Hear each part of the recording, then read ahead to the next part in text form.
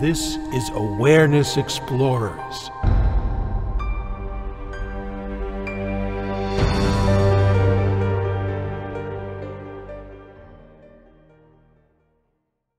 Welcome back, Awareness Explorers. It's good to have you. I love having a tribe. Hopefully, you feel the tribeness of our, our gatherings.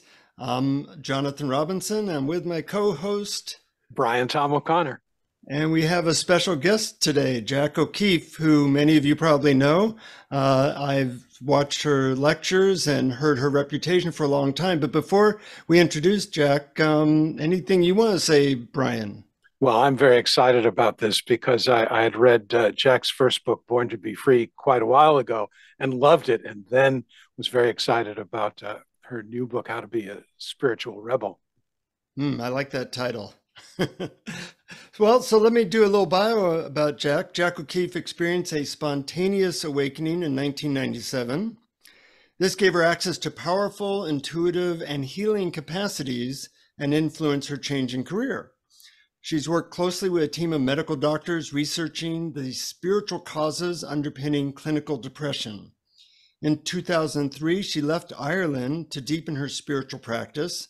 O'Keeffe began to work as a spiritual teacher in 2008, and now she guides others in her teachings and publications in order to share what she has learned and assists others to transcend both dual and non dual perspectives.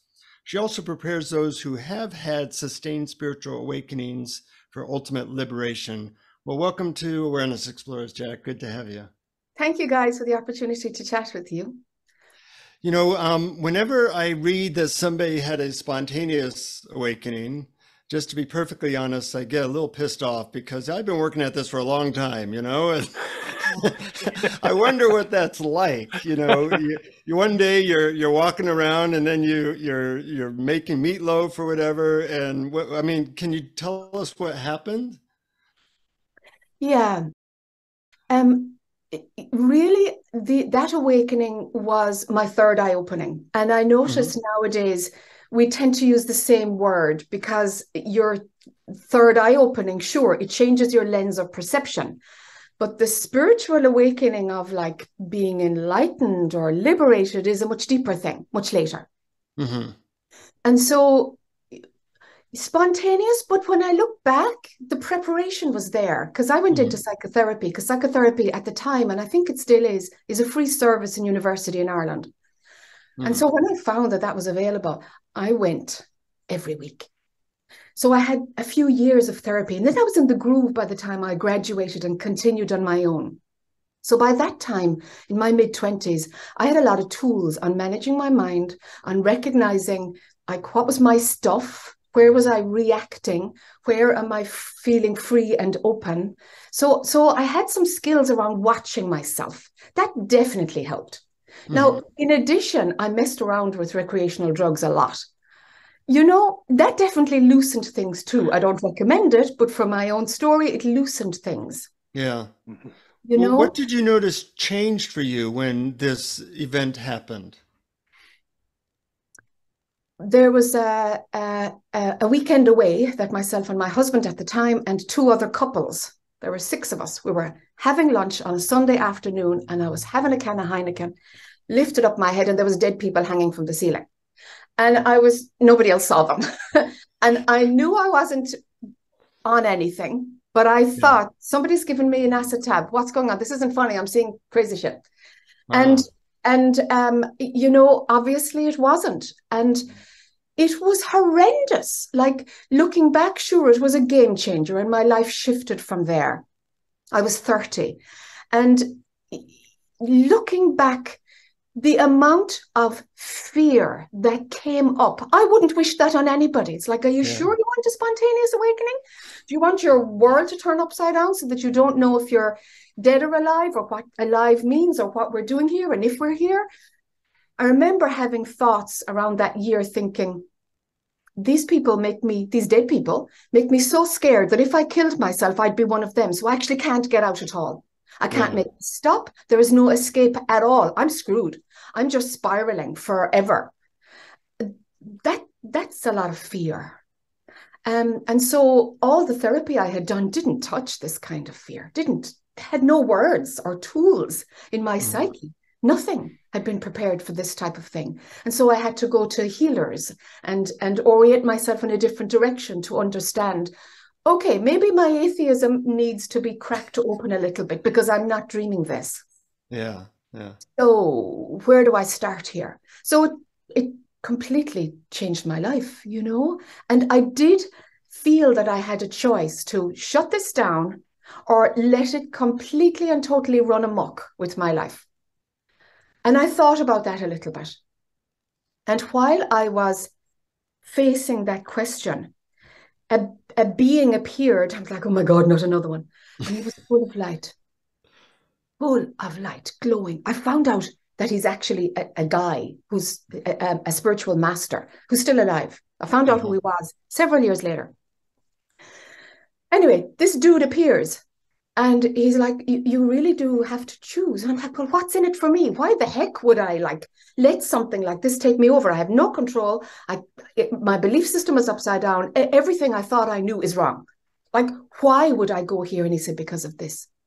And mm. I got this feeling of unconditional love that knocked my socks off, mm-hmm. like blew my circuits. I'm like, oh my God, what's that? And he said, that's love. Mm. That's unconditional love. And I'm like, I, I, I, I, I missed it. I didn't know what it was.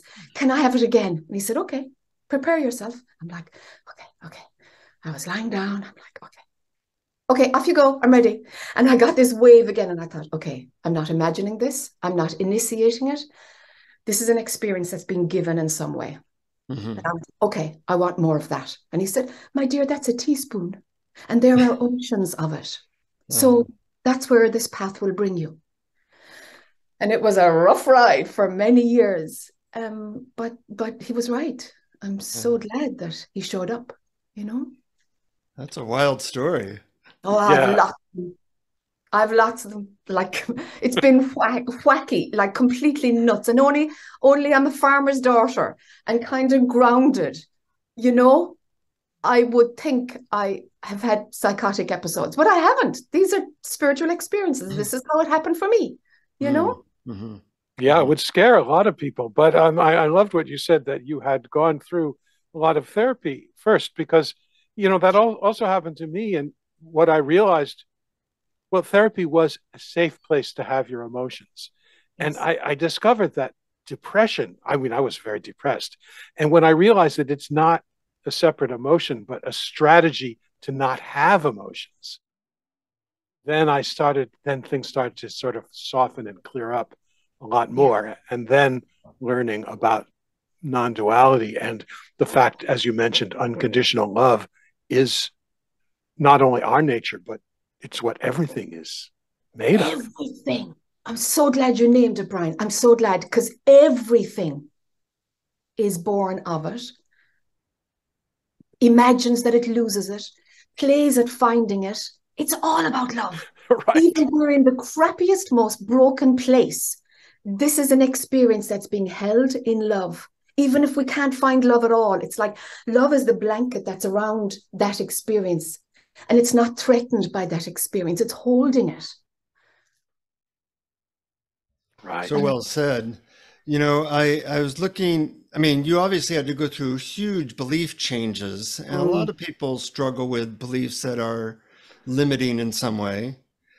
What what helped you to change your belief system, or what advice would you have for people who feel like they're struggling with some belief or or thought form that's holding them back? For me, it makes sense. It did then and it does now that beliefs are are something to anchor into while they work. But if mm-hmm. we're rigid with them, sooner or later they'll make us suffer. Mm. They're they're designed to be uh, stations along the road as we're traveling along the track to kind of like try this out. How does this support? How does this work? Is this where I can fit in and find a code, a way to find people with similar beliefs or ways to express myself in the world? And it's like, get back on the train again. Be prepared to leave that and move on. It's like beliefs are things we need to grow out of. So the amount of times I've believed something and then moved out of it, and and that fluidity I think is very important. Yeah. Um, increasingly so as we spiritually evolve, because we we end up kind of surrendering to the movement of love. We're surrendering to what wants to happen. There's no stickiness in that. You can't you can't stick to the belief that it's all love. You get a eureka that everything is underpinned by love. It's like a, oh, holy crap, I was there all the time. Now, if that becomes a belief, I believe I'm pure light. It's like, oh, watch that one break down. Oops. So it's like spirituality brings us to recognizing what is true. Don't turn it into a belief. Mm-hmm. So beliefs then are things that, you know, useful along the way, but invariably we have to outgrow them. All of them. All of yeah. them. Yeah. Right. Well, the word the word belief systems, if you look at it, is BS, you know, belief system. Yeah, that's wonderful. I love it. Yes. I'm gonna remember the, that. This is so much in keeping with um, what I noticed was the difference between your first and second book. I mean, your first book Born to Be Free, I read many years ago, and it was one of my favorite books. And it, it seemed to me to be a perfect communication of non duality. But in mm-hmm. your next book, How to Be a Spiritual Rebel, you use the traits and the habits of the false self as sort of a, a jumping off point, something to rebel against. Like, That's for right. instance, celebrating when you get to see a personality blind spot. Yes. Were there was there a personal experience or an observation of you or your students that led you to zero in on on how our individual stories keep us from realizing our true nature? That's a really interesting question, Brian. I think it has to do with my own growth, really, to, to answer that one. When I spent those few years in India in the mid noughties, as we call them in Ireland, the zero, two, three, four, five, six, in the noughties, that decade, I I reached a phase of where there were no thoughts, where my self-referential network in my brain, I, I felt it burn. Um, I I had no nighttime dreams, no imaginings, no there was nothing, no creativity, but there was perfect stillness. There was simply one present moment that was being lived through this form. Um, my family had a hard time with it. I remember my, the sister that I would be closest to was like, I've lost you. I don't know who you are. You're you're not there. And friends of mine saying, I feel like I can put my hand through you. You're not like you're not there. And you know, I mean, whatever, whatever, kind of was my response. And in the the spiritual gatherings that I was leading, nobody was getting it. And I was like, it's as clear as the nose in your head. Nobody's getting it. They keep coming back and they're full of pain. I'm like, okay, something is off here. I would have imagined that that hearing these words, which I was craving for for like 10 years prior on my own journey, that if somebody had had told me the truth of my true nature, it surely would have expedited the whole thing. Mm-hmm. What I'd forgotten was that I had done a lot of work and I had tools to manage my emotional body and my trauma body. And so I was like, oh God, I'm going to have to somehow integrate where people are at. Not everybody is ready to leapfrog. Maybe that just happened to me and a few of us because we are being prepared to teach. Maybe so. What would it be like to wake up and still be rearing your kids and still be going to work in Walmart, wherever? And so so I started to look at how how does it work in an integrated way and I knew for me to be able to teach something, I have to experience it. I, I, I just can't teach a concept unless I know it to be true myself. So I'm I made a conscious decision. I'm going to have to go back into life. Mm. I'm going to have to make that leap. And so I knew, okay, that probably means more relationships back into maybe marriage, maybe I don't know what I'm going to have to do. Let's start with having a pint of Guinness and see. Let's let's actually introduce alcohol and see what happens there. I'm like, oh yeah, I see what that does to my nervous system, that does to my brain. And you know, let's go to some place really dense that I wouldn't dream of going. and see how that impacts me. So I slowly but surely reintegrated myself from a monastic, inward, quiet, simple lifestyle into the regular, raw life that most people live in.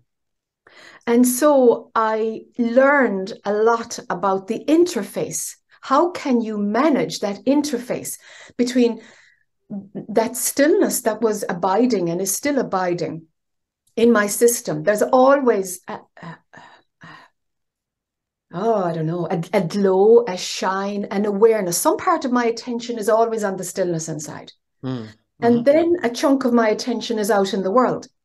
And I've been playing with that balance in myself. Like, am I anywhere scared that if too much of me goes into the world, that I'll actually lose access? I'm like, okay, let's try it out. Let's try it out because I don't want to harbor the fear. I don't want to be protective of this abiding awakening. I want to know, okay, if that's the way it's going to play, bring it on. And so that internal process that was happening for me brought me to a place of where I need to write another book. And it's about how to be in relationship with uh, with with our dysfunctional humanness. Mm-hmm. How do we deal with that, and how do we use that not not to be um, something that needs to be killed or ashamed of, to feel guilty about, to hide, to only bring up in a therapeutic context because you want to be all glowing and nice on the outside. It's like, bring it all here. Bring it all here. Now, how does that look from a spiritual perspective? How does it play and how can we celebrate it and integrate it, learn from it, get wiser so that our awakening process can be real, authentic, with no hiding? So, How to Be Spiritual Rebel came out of that process within my own reintegration, embodiment, another word for the same thing, I suppose. Yeah, that's fascinating. I uh, was with a spiritual teacher for 26 years where the focus was on looking at your obstacles. Um, and I thought that was very valuable. The problem was that maybe there wasn't enough focus on the silence you know, and trying to find those, we often use the analogy of two wings of a plane. There's the silence and then there's the, the humanness and trying to find that balance is hard for a lot of people. I'm wondering with your students that you have now, what role do you play or what do you do with them that you find is, is particularly helpful to them? Yeah. I had a private practice for through all the years and I closed it in about May this year because it stopped being fun.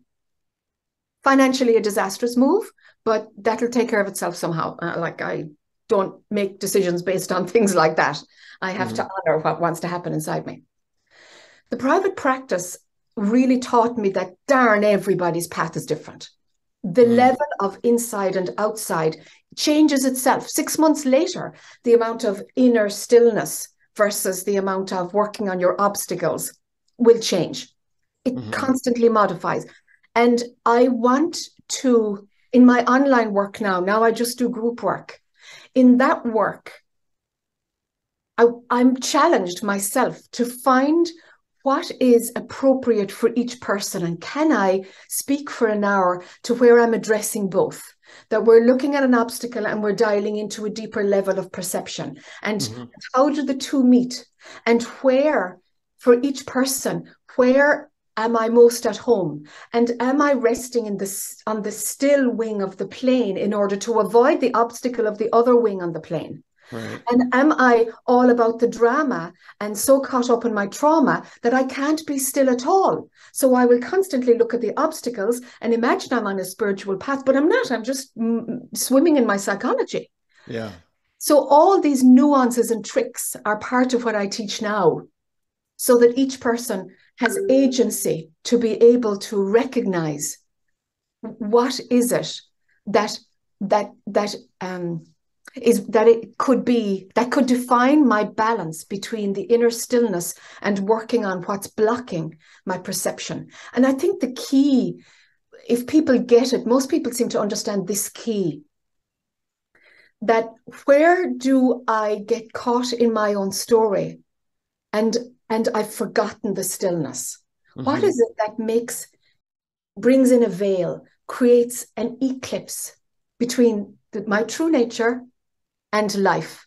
And maybe I wake up and I'm stuck in life, and until until something happens that reminds me of my inner stillness, I'm mostly in life. Perfect, fine.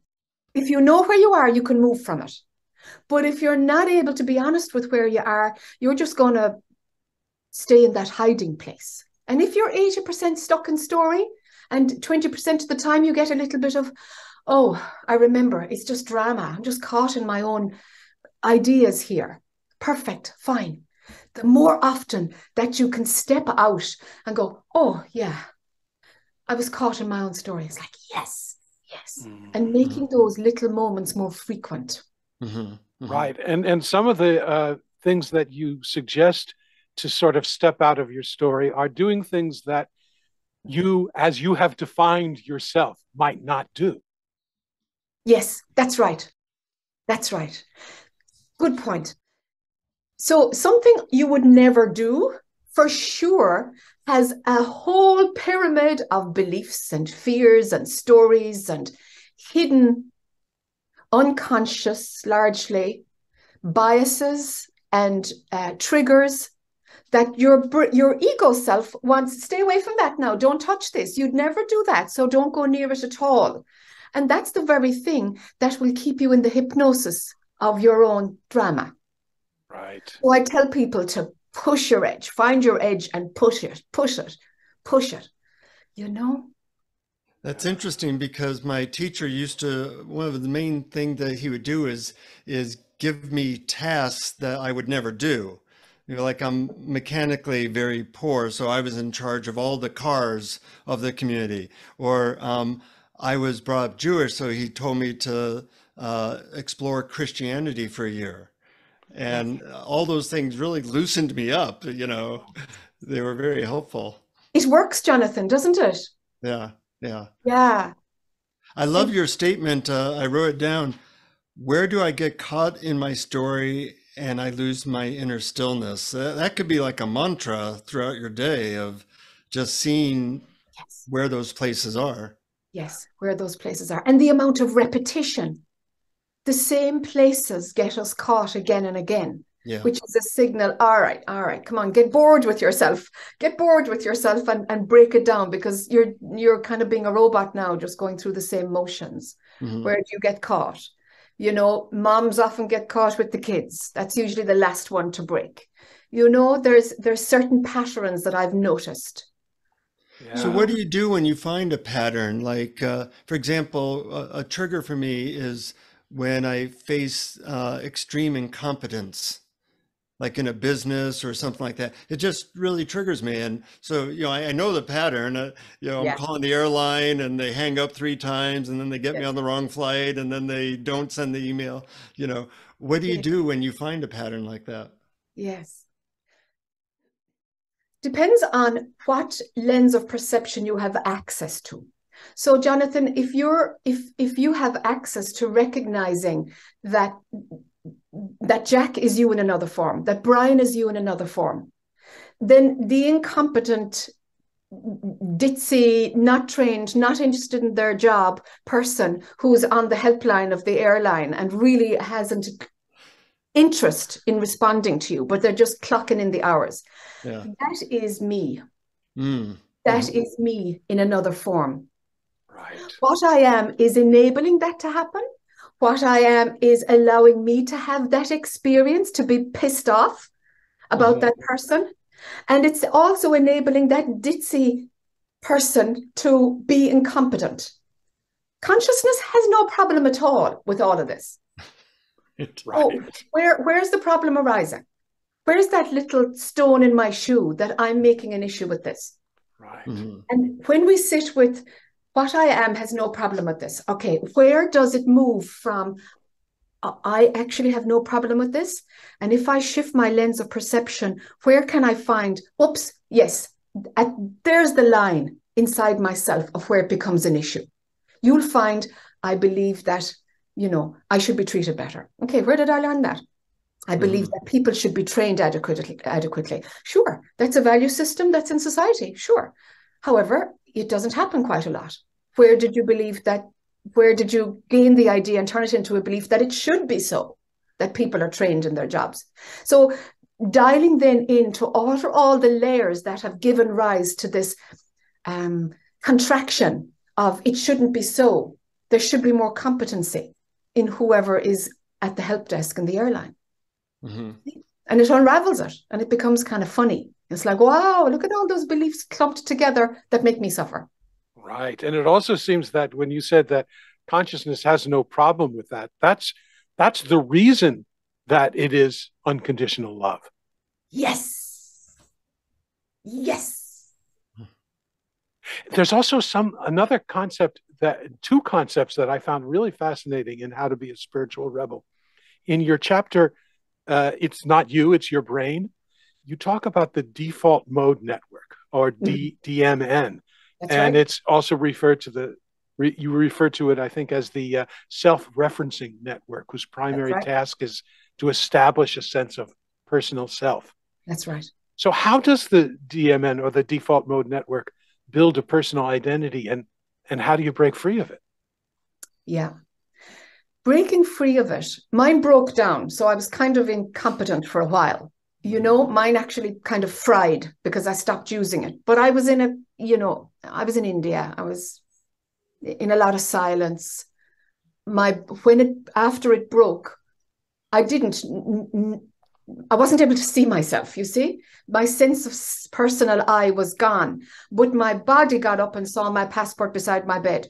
My body got up and walked to the mirror and looked at Jacqueline O'Keeffe, March the 3rd, 1967. Okay. And my eye went up to the mirror and my eye went down to the passport photograph. And after a minute or two, it would click like, oh, okay, okay, and so I could feel the concept of time coming in. I could feel, so what date is today? So what age am I? And these, it's kind of like Groundhog Day. These, these pieces of building myself to be manually done, but consciousness was doing them because I wasn't there to kind of say, I need to do this. I mean, there was no personal I. Now, I do not advocate that for anybody. It doesn't need to happen. We didn't have any information at the time about that default mode network the self-referencing network is really useful and we we teach our children you know how to your name is tom and this is your sister and give that to your sister mary and so we have ways of labeling okay i'm here this is my boundary and mary's another person and that's my sister and i have to give this object which isn't me there and so this wiring happens in our childhood the trouble is we believe the darn thing. We believe that I am that person mm. and that Mary is that person. That's the problem. Mm-hmm. We believe it hook, line, and sinker because we don't have the capacity yet to bring spirituality into, into our schools. It's only just becoming mainstream thanks to the internet. You know, mm-hmm. it was like the preserve of monastic and spiritual lives, or hermits, or shepherds, or people who disconnected. And now we're learning how to integrate it.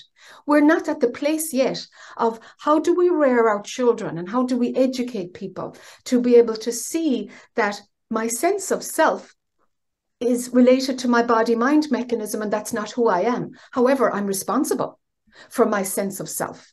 So so I can totally uh, cultivate and nurture and improve on my personal self. That's what we do with psychology and personal development. We improve that personal I so that it doesn't have so many pain triggers. It can be there. It's just not who you are. It's right. just not who you are. Right.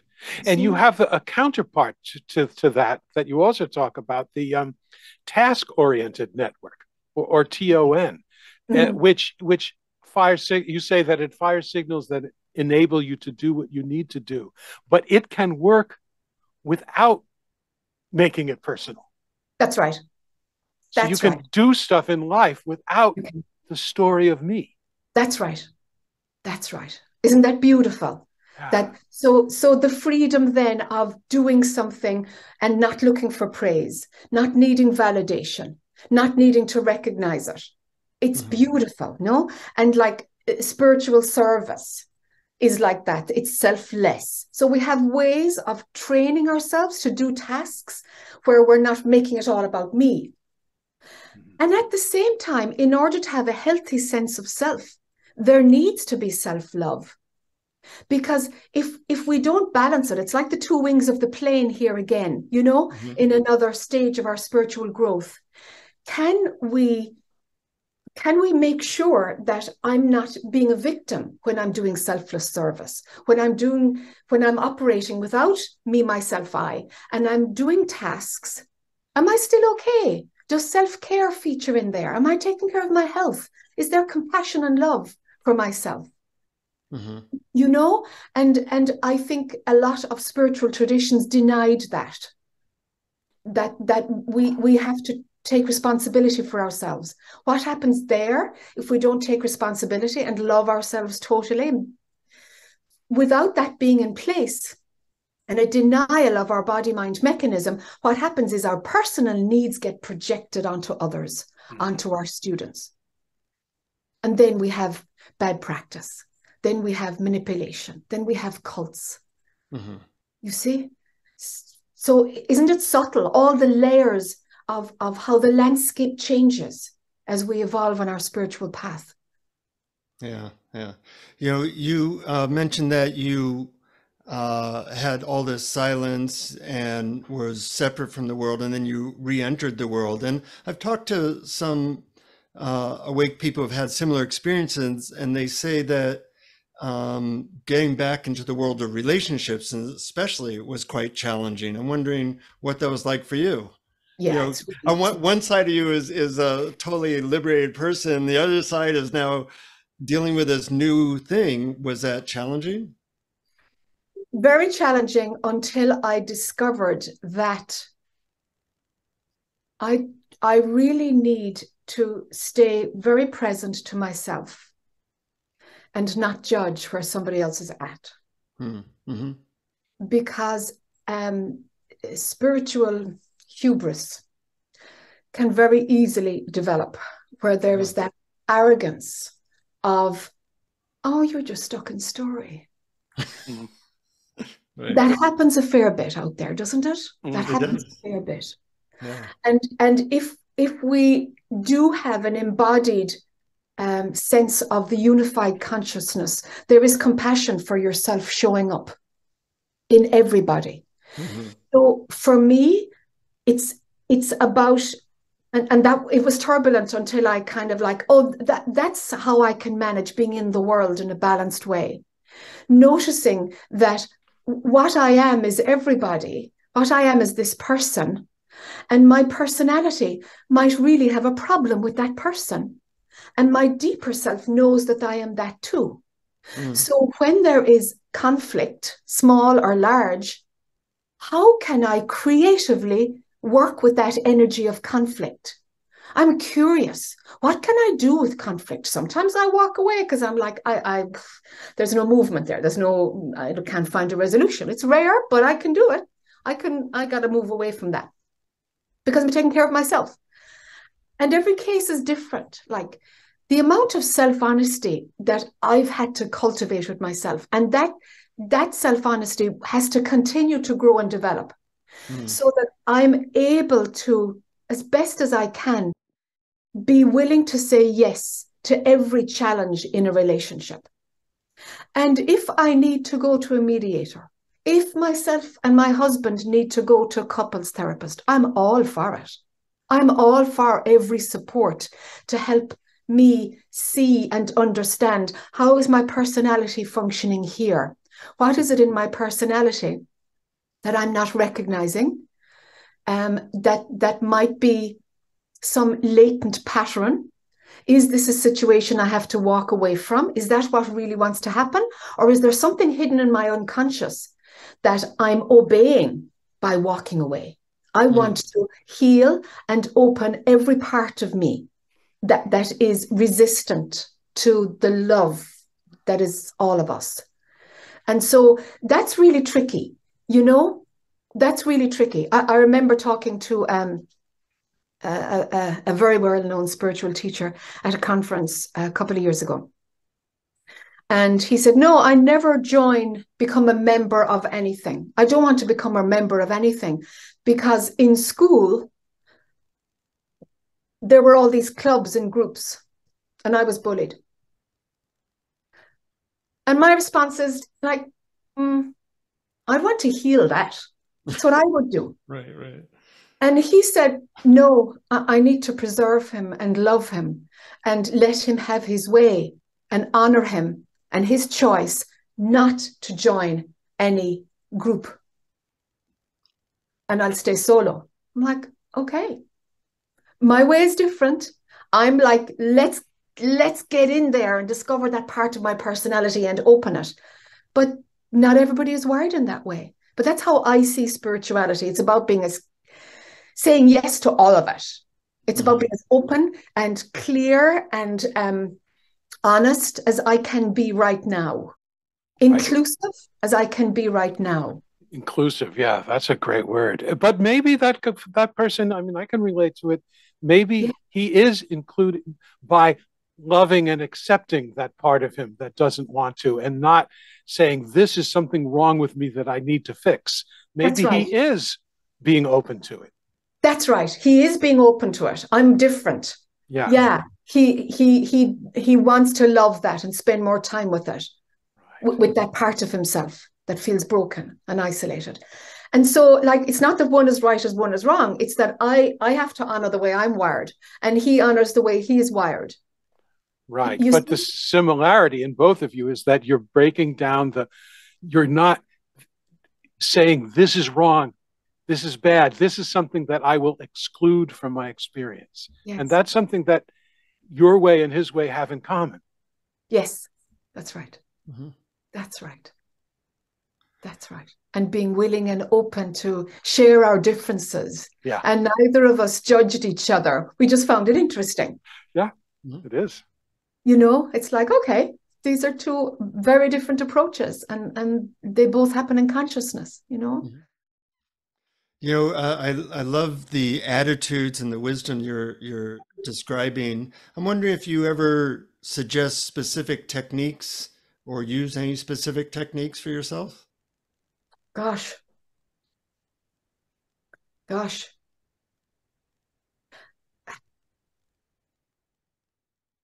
I often th- take things for a walk. Hmm. Literally. I'm like, okay, there's uh, uh, something feels uncomfortable there. I dial into my body. Mm-hmm. And then I have to take that for a walk, which means don't analyze it, Jac. Be with it, let it be here and see what wants to happen. Mm. So by going for a walk, I'm in nature. I have fresh air and and I'm letting some uncomfortableness be present. I don't want to fix it. I want to witness it and say yes and see what happens. And from there, some what to me is wisdom will come forward. It will come forward. I love that. I've never heard that specific thing before. And yeah, I can see how valuable it would be. You know, it's a way to maybe not just get lost in an, uh, a thought loop, but bring it into your body, get some movement going, and then yes. listen deeper. Yes. Uh-huh. Yes, that's what I do. Uh-huh. That's what I do. My body plays much more of a role now than it ever did. Um, because I my approach would have been very much oriented by therapy early on. So watch your mind, watch your mind, watch your mind. And of course, it zapped me into the non-dual. And then I had to play catch up with my body. So it makes sense that the integration, the embodiment, took a few years for me to to drop that wisdom into how does it show up in the world? All right put my body in situations that my monastic training for want of a better word would have avoided. Mm-hmm. you see? And it was Absolutely. really about bringing my body into it. And now my body my body is a key player in informing me. I respect its wisdom. Sure. And the body is so great because noticing body sensations is something that can happen completely non-verbally and can only happen now. Yes. Yes. It's so always it's, present. Yeah. yeah, it's such a good window in. Yeah. I wanted to touch on a chapter in your book that was my favorite, very dear to my heart. It was so exciting in How to Be a Spiritual Rebel. It's the chapter on non denialism. And, and the reason I find this exciting is I've been recently seeing something similar, although I didn't use the exact words, but I've seen so many people say, oh, that's not non dual. Oh, that's not non dual. What? And and then it occurred to me that duality is included in non duality. And people miss that. They and miss. I, I'm not sure if that's what you're saying in non denialism, but how would you put it? Yeah. Hey, there's an awful lot in that. I'm glad you brought this up. um, in 2011, I think, I woke up one morning and I don't know if some of the listeners have the experience of something comes out your mouth and your brain is hearing it for the first time. Mm. And that that often happens to me. Not so much anymore, but it used to be a way that I would learn from from uh, the universe. Woke up this morning uh, in, in 2011 and was like, "Oh my God, identification with pure consciousness, the non-dual." is identification with pure awareness. That's what it is. There's identification there. And the ground fell from under me where where identification was seen through. It's like, oh, identification is the thing that is present in both. It's I can identify with the little self, and then we have this non-dual of I and I identify with pure awareness. That's what I am, my pure nature, and I identify with awareness oh God, they're both caught bouncing off each other. So no wonder we're saying that's non dual, that's dual. One is bad, one is good. Of course, they're playing tennis with each other. Uh-huh. They both are playing with a common ground of illusion. That identification can be right here and wrong here and wrong here and right here. So, so identification, if that dissolves, that whole concept dissolves, what happens then? And that brought me to a place of what I call non-denialism. It's like I don't deny any of it. There is a non-dual lens of perception, and I totally get it, and I have ongoing access to it. And there's the dualistic lens of perception, and I have ongoing access to it. And I don't stick to either. I don't mm-hmm. stick to either. They're both lens of perception. Is there deeper than the non-dual? Oh, you bet. And to go deeper than the non dual, there has to be a capacity to say yes to both the non dual and the dual. It's like both are held within the nothingness and everything. Mm-hmm. So, so, yeah, that's the territory we're talking about. Yeah, I love it. It's beautiful. Uh, and I can feel it when you talk about it and but not in any real verbal way. Yes. Yes. yes. This is so much fun. I'm wondering, Jac, if there's anything that we haven't asked you that you feel like has to come out or you would want to share that we haven't explored yet.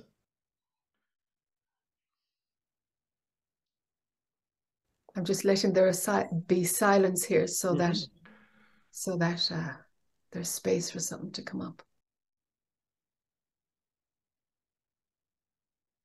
So, right now, what I did was stop my mind to see what wants to happen. And there was nothing. And then I when I spoke, I, I was going into my human brain to see if the Jac personality has something. Mm-hmm. And and both are silent. Mm-hmm. And I, I always do that. I, I, think I always do that. I think that's a technique I'd like to add in there. My mm-hmm. first call is is the emptiness. It's the emptiness, right. uh, and kind of getting out of the way to see what wants to happen. And and I I I, I won't override this Jac woman. And and does she have an agenda? And if she has an agenda, I'll honor it. Sometimes I have to check out to see is that agenda a little bit sticky? And even if it's sticky, I know it's not me, but I'm responsible for her. There's no hmm. question that there's identification with her. But my God, she's love itself, doing her darn best. You know, she's beautiful. Right. And and we we we are all these parts because we are all of it. We are all of it. So, so how do we love and care for these parts of ourselves? Can we let ourselves be friggin' enormous? Because that's what we are. And so that takes a certain courage and we've got to come out of any cage of fear that we might have. It's a dissolving into the oneness that is all it's like recognizing I am a part of the ecosystem and I am all of the ecosystem. And, and how do I relate to both at the same time? And it becomes very fluid. I had to learn how to do it, and it felt like I was in compartments. Mm-hmm. And I think the non dual created that way of thinking because the non dual, it's not this you know the neti neti the not this i am that i am not i am not the personal i. There's lots of i am this and i'm not that. And that's very useful to to embody the non-dual to really click into the place of where you're not identifying with the default mode network with the, the part of your brain that says this is me and this is who i am. That's very useful. And the expansion that goes deeper, that non denialism, where nothing is denied. Do I have the capacity to say yes to all of it? Where is there a fear that's making me want to contract so that I can only identify with a piece, the dual, the non dual, the me, myself, I, and the, the I am, I am, period. so, so both of those can exist within a much wider space. Now, I can say that wider space is what I am. Actually, there is no anything of what I am. There isn't. Uh, uh, there isn't. That sentence is garbage, really. It exists within certain lenses of perception, and and it's it's a game, and it's as false as anything else that's out there that's false. And so, with this non-denial non-denial approach you can go deeper than the non dual. And then people say, What goes deeper than the non dual? Like, what is it? The personal I will kick up again. And it's like, actually, it doesn't. Or when identification is seen through, when existence itself is seen through, when you see through consciousness itself. Yeah, but what goes prior to consciousness except consciousness? It's like, yeah, that that's an answer from the dualistic brain. That's an answer from there. Mm-hmm. Let the ground fall from under you. Let everything dissolve, everything. Expect nothing to happen. Be that open and empty and know that you never were, that you never were. And somehow, uh, um, so somehow, in the absence of all of these compartments and perspectives, they all come back in in their place. And you know that consciousness itself is a myth.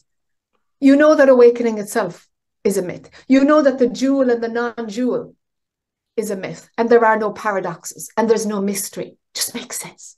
It just is in a way that is understood in a way that I can't even use words for. Wow. what a beautiful. That, that, that might have been our guided meditation. I was just riding those waves you know, that was really something. Um, uh, one question, you know, uh, that occurred to me it was that um, you mentioned that at some point you were seeing dead people, uh, which is a pretty unusual experience. Uh, do you have a sense of what that was, or what you know? There's these people who who are doing uh, mediums, you know, shows and things like that, and they seem to be getting real information. What's going on there? Uh, are there spirits around us that were dead or, you know, living and now they're dead? Or uh, do you have any idea? Oh, yeah. It, it's all there. Everything that can be imagined quite likely exists, really exists in some uh-huh. dimension, in some realm. Uh-huh. Absolutely. I did work as a medium as a while for a while. I did. Like, yeah. And you know, I gave up all those skills. I actually had to surrender them. You know, my father, who's dead now, my father said once my third eye opened and I was like, my life was changing. And he said, You know, the media will put you in a box and they will love that you have these tools and skills now. Mm-hmm. Keep it to yourself. Do your work and don't market yourself in any way. And it's been like that largely. I'm mm-hmm. I'm actually really bad at, at marketing still. you know, I, I I I just never got on that train. Yeah. Um, and I'm so glad he said that because it didn't pigeonhole me and it allowed me to like, okay, sure, there's dead people, and I have learned some tools to move them on, and I did. Mm. And I then started working on people who were living instead of people who were dead. And then I became a healer. And then, you know, it moved on from there. And then one day it's like, stop the whole thing. You're now just caught in this service. Stop the whole thing. What about your own growth? You're not growing mm. anymore. You're just serving by rote. I'm like, okay, stop, stop the whole thing, stop. And and then the the stillness began, the real stillness. I was meditating a lot through all those years, but I had to disconnect from the outside world. Um, I then had to surrender those tools because at some point I was not sure how much of my identity is wrapped up in the fact that my third eye is very open and I can see chakras and I can see past lives and I, I like how much how, am I kidding myself? Like, mm-hmm. what about being ordinary, really ordinary? And I remember I was in India and I went onto the sacred mountain Arunachala where I was hanging out for a few years. And I did a ceremony and gave it all back. So take mm. everything, everything that makes me not ordinary, take it all and let my life be as as as it can be directed by the divine within, not by any Jac agenda or any currency that I am given because of the world we live in right now. I don't want any of it. I'm handing it all back and let ordinariness happen. And and the tools left me completely for several wow. years. Yeah. And they come in and in and out now every now and then. You know, if like when I'm doing the work, I'm I yeah, I'm like, oops, I can see what's going on here, what's going on here. And so, you know, that makes it great fun. I I, I can play in those dimensions when they show up. I, mm-hmm. I I offer those tools when they show up, you know. Um, but there's no stickiness in it for me, you know. It's, yes, yeah, I get it. Mm. It's fascinating. It's wonderful. Yeah. I have challenged um, another teacher friend of mine who works with guides, you know, and she said, I can't do my non dual teaching without my guides. I can't. That's where it comes from. Mm. I'm like, but would, don't you see that you'd really, really grow if you got rid of that attachment? And if you told them, okay, leave me be. And she goes, I, I no, I couldn't do my work. Up came the fear. I couldn't support myself. I couldn't I, I, would have to close down. And I said, yeah, and see where that'd bring you. Oh, she couldn't do it. She couldn't do it either. I'm like, gosh, there we go. There we go. You know, our paths are different. Right. Yeah. And, and, and if, wherever we're at, like the work she's doing with people is amazing, you know, and she will always have way more people following her than I will ever have. You know, but that's not my wiring. I, I have to honor what's right for me. Mm-hmm. And a lot of people want to talk to their guides and they want that somebody to mediate between the other realms and them, you know? and, but for me, no, I, I can't. My own journey comes first, and mm-hmm. I will serve secondary from from honoring what's right for Jac. For me, it's the other way around. I, am just mm-hmm. wired differently. Well, what's what you're you're honoring what's right for you is something that I've always found very appealing and attractive in in in you and what you write about and what you talk about. And I'm just so grateful that um, we get to share that with our listeners. Yeah. yeah. And I appreciate your courage because a lot of what you did, you know, in terms of the surrender and giving things up is a real good role model for for people on their own journey because I'm sure some of those things were were a challenge. Yeah. hmm Yeah. Yeah, it's it's it's been a, a rocky ride, but you know, I love it. Like Mhm. I just love it. You know, Mhm. it's like what else to do, you know? Right. Like it's great fun, you know. Fun is good. Fun is wonderful. Yep. It's wonderful. And it's it's my it's my barometer, you know? It's like, okay, so so there's a bit of friction with this person. All right, Jac, so where's the fun? And that leads me into curiosity and exploration and creativity. And and something says yes to all of it. All of it, you know? Mhm. Mhm. Well, Yeah. I, I think that's why, you know, Jonathan and I resonate with that so much because we feel the same way.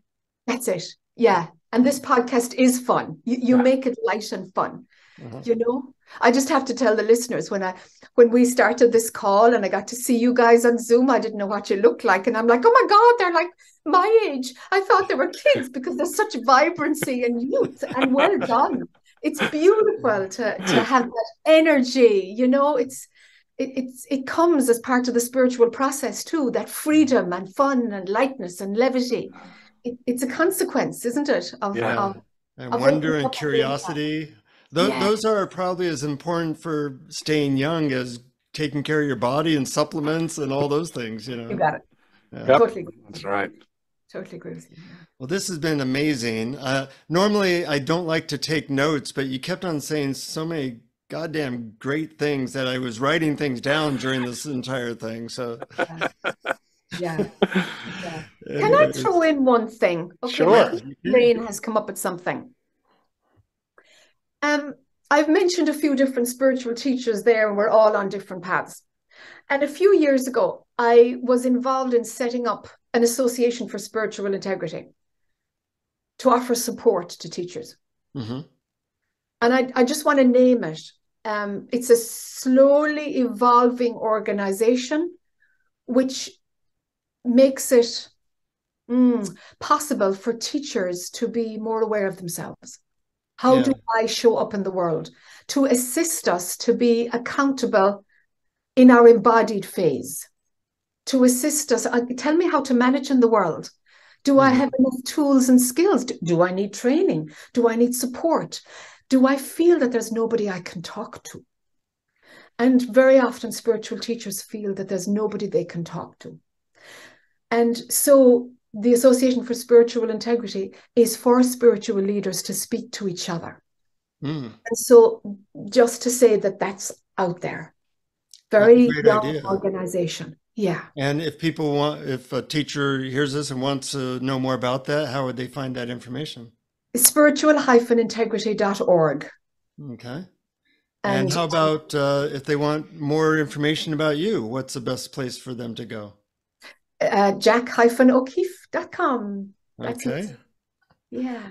Yeah, is Rick Archer involved in the spiritual integrity thing? Yeah. He is. Yeah, that, He I think it's a really important service because you know all the all the uh, you know scandals around teachers turn people off, whereas you know people can really benefit from a good teacher. Yes. Yeah, and and you know what we've done so far has helped hugely, hugely to to mediate between teachers and students, to recognize that some teachers actually don't want to change at all, Mhm. and that most do. They want to be better at what they do.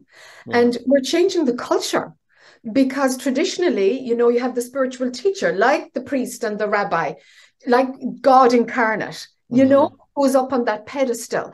And it's like, um, that's that's a model that doesn't work for us anymore, where there is fear against the authority. It's like, Right. uh, could, could we do this in a more inclusive way? You know, there's the inclusive word again, to where the humanness of the teacher is is um, given space and support. And as a result, the student can grow then because the agency and autonomy of the student is honored. And we want to do that. So that the, the student is allowed to, this doesn't feel right. And how can I tell the teacher that this doesn't feel like it's okay? Mm-hmm. Can we have systems of feedback that become normal between student and teachers? So many things for us to do. Yeah, so important, so important. Yeah. Yeah. Well, this has been such a treat, Jac. I, I uh, haven't read your books. Uh, now I think I am. And uh, I just got so much personally from this. So I'm really grateful. Oh, listen, the fun was all mine. Yeah, yeah. Really, uh, it's just a hoot. Yeah, it's great fun to just have a, a space to throw my hands around and, you know, and, and express and yeah. let it all happen, you know. So thank you guys. Sure. Well, now we know what it's like to be a spiritual rebel. Yeah but not as an identity. no, it's a game. It's a right. beautiful game. A beautiful yeah. game. I love it. Yeah. Yeah. And what we are is is good with all of it. With all of it, however it shows up. There really, really is no right and wrong. Really. You know. So I just want to mention to our friends that that get stuff from this that feel free to support us on Patreon at Awareness Explorer. No, Patreon dot com forward slash awareness explorers where we send you a bunch of additional stuff uh, for that support. And um, you were going to say something brian. Just that i'm very grateful to you and i can't wait for our listeners to hear this episode. So thank you so much Jac. Yeah, yeah thank you both. Thank you to our listeners and whatever is happening now for the listeners you know. See what's going on in your body. Hmm. see what's going on in your body don't judge it. Let it be there. Yeah. And and it will move, and another experience will come in. Mm-hmm. That's probably the, the most wise and, and simplest guided meditation. Yeah. Just let it be there mm-hmm. without any judgment at all. Let it be there. The experience will move on then. See it as judgment is the thing that'll make it stick. Let mm-hmm. the experience move on, and another one will come and be there with that too. Mm. Right. Beautiful. Let it be simple. Until next time, keep exploring. Keep exploring. Thank you, guys. Thank you, everybody.